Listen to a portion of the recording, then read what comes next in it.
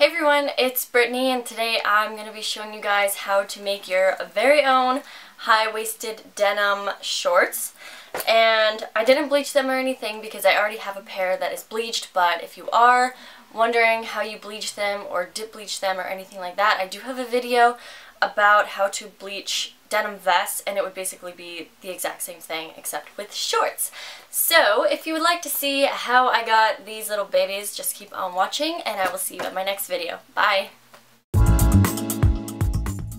For this tutorial, you are going to need a pair of scissors, anything to mark your jeans with, so a marking pencil or a normal pencil or pen, and obviously a pair of jeans. I got my jeans from Value Village for $12.99, which is quite expensive for Value Village, but they are Calvin Klein, they're in really good condition, and they fit perfect, so I couldn't really pass that up.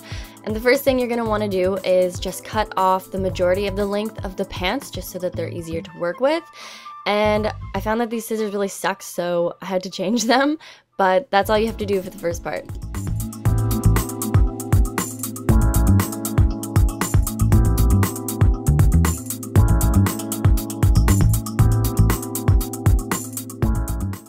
So now you should have these little Bermuda short kind of things and then just take your pen or pencil or whatever you're using to mark your jeans and just start drawing the type of shape that you would want on your shorts.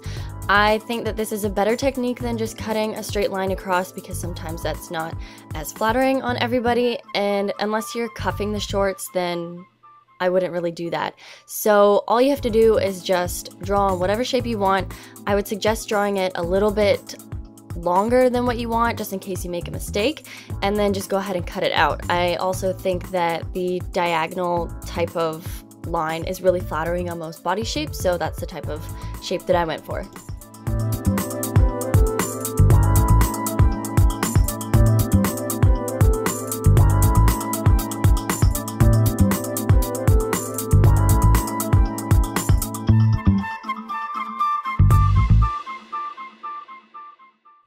So for when you're doing the bum, make sure that you do leave quite a bit of extra length on the butt because you don't really want your butt hanging out when you're wearing these shorts.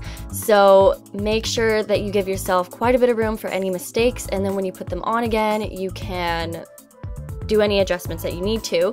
And for making both sides even, just fold over the shorts and then you can trace along the line.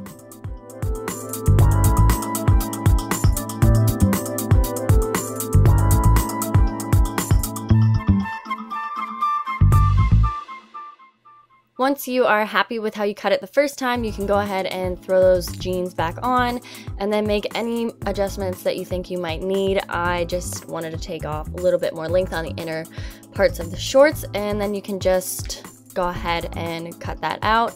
Also, at this point, you could start destroying them if you wanted to. The thicker the fabric, the more likely it is to destroy itself when you wash it, so I didn't do that. It's pretty easy to do anyways, just take some tweezers and pull the little threads or something like that. But at this point, I really liked how they looked, so all you have to do is throw them in the wash and then dry them and they should destroy themselves on their own or even over time. And this is what they look like afterwards.